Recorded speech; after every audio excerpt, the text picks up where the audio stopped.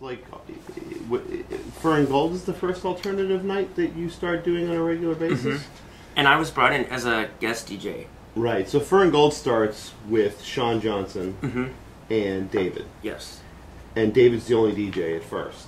Yes. For uh, for three or four months, and then I was brought in in May after it started in February, I guess. And this is what 09 now. Uh, 2010. 2010. Okay. So you're brought on pretty early into the process, hmm and then you and David start doing it, and it's pretty successful right out, right out of the gate. It was. Right. It was.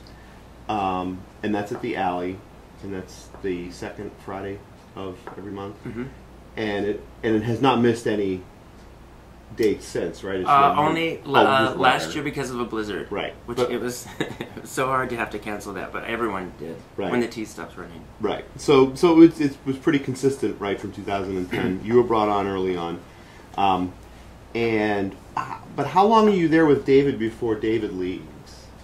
Uh, through the s- summer, I think he left in the October Okay. of 2010.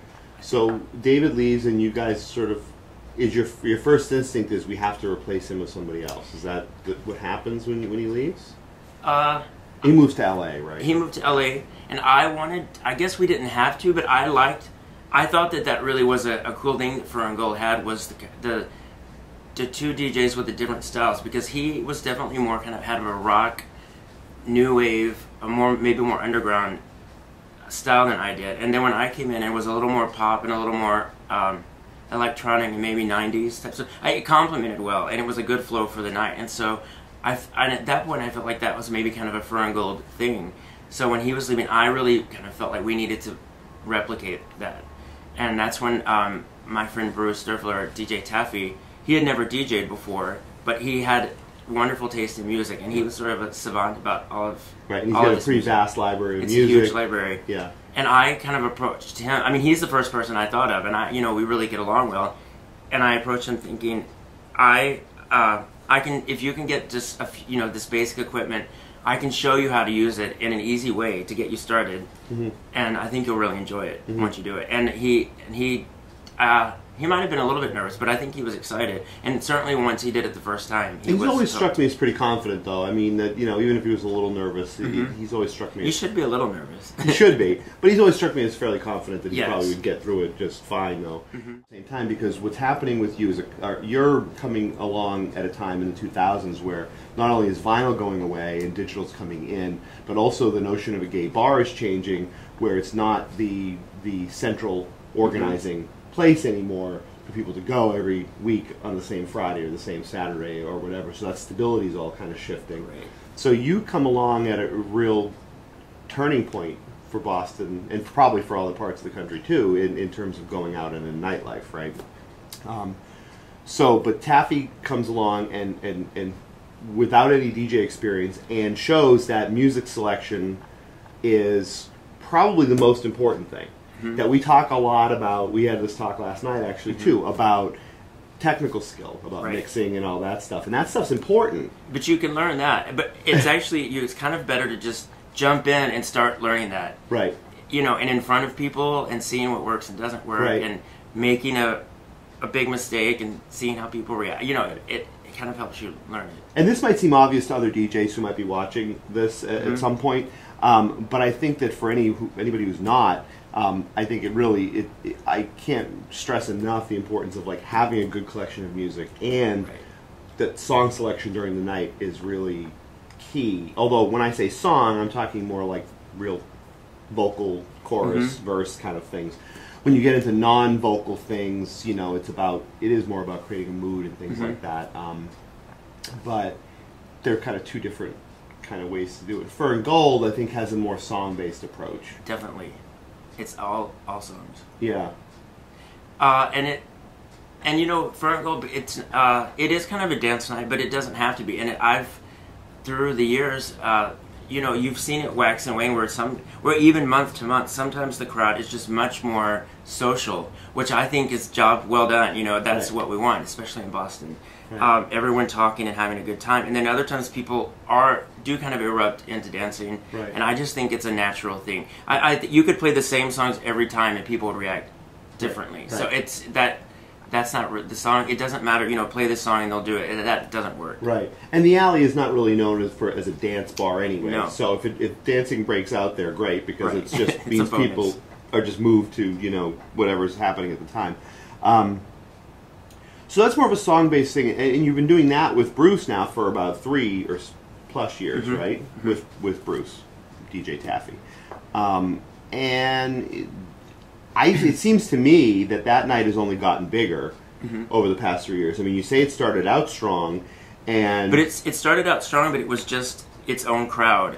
Uh, yeah, I feel like it's broadened But out. now it's broadened, and you know people know about it's kind of nationally. so like you don't know a lot of people. Like sometimes there are nights when you don't really know a lot of people that are there. Whereas in the beginning, Or a lot you of new people. You knew a lot of the people that were there personally, but now You know, yeah, I used to know everybody there. yeah, But I like that. I'm always. Uh, I mean, I like. I mean, I love having the regulars and people that we know. But for me, I think for any night, I'm always wanting new people each month, and that's like that's I guess a personal goal uh, for me and for the night. It's Right. just to always.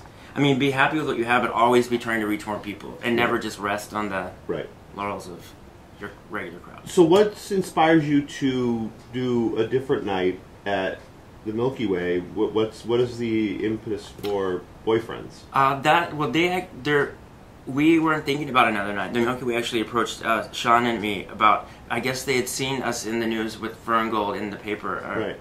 uh, maybe Edge Boston or the Globe, Right. and uh, they wanted to start a gay male night at the Milky Way. I guess the Milky Way nights are known mostly as kind of lesbian nights, Right. uh, even though I like Laboom is a really mixed night, and I go there, and a lot of my friends do. But I guess they wanted a night that focused more on gay male, and I was I really was interested in. I love the Milky Way, but I really felt strongly that we should do something just very very different from Fur and Gold, and not make it kind of a even you know like a beardy guy night. Like I mean that's obviously Sean and I are Beardy guys. yeah, and we're we're really into that crowd. But I really felt like this should be more general. It should be a general gay night. Taking it's like taking a gay night to JP mm-hmm. kind of thing, mm-hmm. and it shouldn't just you know be al- even alternative as alternative as Fur and Gold. But you're early on in the process. Your your idea is to have you as the resident DJ, and then bring in guest DJs, Mm-hmm. different guest DJs, pretty much every month, unless it's a month where you just think you can do the whole night yourself, Mm-hmm. depending on how busy it's going to be or what month it is or whatever. Mm-hmm. Um, so you really want to bring in guest DJs, different guest DJs every month. And part of it was, uh, I just thought that would be fun to work with. There were a lot of DJs I wanted to play with. Oh, I know. The at Ferngo we can't really have guest DJs because there's two of us already in a very tight Right. setup in the DJ booth, so it's hard to you know plug out and unplug. It's kind of impossible. Right. Uh, but also, just we had a few guest DJs, but the way it breaks up the night, it, it's almost not worth your time because Right. you end up playing for like 45 minutes Mm-hmm. or, or more when you have three DJs even in a night like it, until 2 a.m. night. so I wanted, I that was my opportunity to have guest DJs finally. When does this idea of having more than one DJ on the bill really take hold? I don't know when it took hold, like in the DJ community in general. I mean, I know that like um, in festivals and things like that, that's kind of been where where that happens a lot. Right. But when did it start happening in like club environments where you instead of just having one DJ, you had to have at least two, I almost three? feel like it's because it started in the indie night uh, community. right. And I think it was a necessity. I mean, I think it was natural because to have a night like this, which it's your night and you're completely responsible for promoting it and running it, it's one person can't really do that uh, feasibly. So I think it would generally be a few people who were kind of into the same sound that would get together and do it as a necessity. Right. It's like a group effort. And it helped increase attendance if you could both pool your resources Pool and pool your all of your contacts and to getting people. And to, Fur and Gold certainly, st- uh, 2010, it started with Facebook. I mean, that was its first introduction. yeah. Uh, and at the when it first started, we you know we would have everything on Facebook: the photos, the um, playlists. We Yeah. would put those on Facebook, so it was kind of a one-stop place. So the notion of advertising, print advertising, or any of that stuff, which was very common in gay bars and all Mhm. that stuff, that's kind of our, that's pretty much gone away. And you need a budget for that. And you need a And we budget. didn't. We don't right. have a budget. Right. Although now the thing that's changed about social media is that we and you and I have both done this and we both experimented with it. Is that um, paying for ads on Facebook actually has become um, a reasonable alternative. It's not that expensive to Mm-hmm. It's do not it. that expensive. Um, but Facebook has kind of maneuvered everybody into this spot now where they really don't. If they want people to see their event, you kind of have to play ball with them a little bit.